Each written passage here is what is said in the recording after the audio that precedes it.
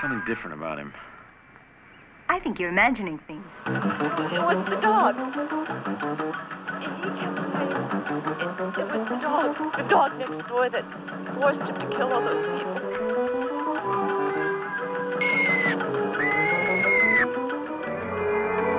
Send your demon. You know, I think you're crazy. You have the special strength to resist the beast. Send your demon, your son. Vargas!